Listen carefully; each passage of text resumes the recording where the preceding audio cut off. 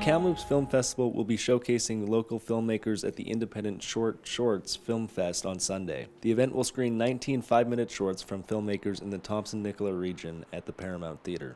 Uh, and you get really a plethora of films. I really love it because you get you know animated films and comedies and dramas and documentaries and uh, more sort of kind of horror type stuff and.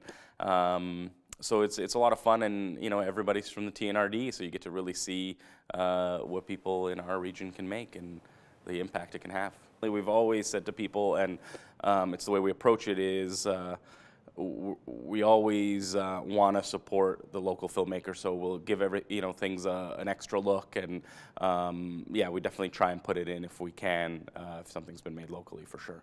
For filmmakers, this means seeing their films on the big screen and getting a chance to win cash prizes. Doing it in a collective environment with other people, um, hearing a round of applause after something that you've created, screens, it's all you know, and of course, you know, at the end where they they ask every every one of the filmmakers from that year to come up to the front, and you get to sort of see everybody else who's done something this year, and uh, uh, get to see all the the faces of the other creative types in Kamloops. It's quite quite thrilling. The Kamloops Short Shorts Film Fest is free to attend for all audiences. For Castanet Kamloops, I'm Josh Dawson.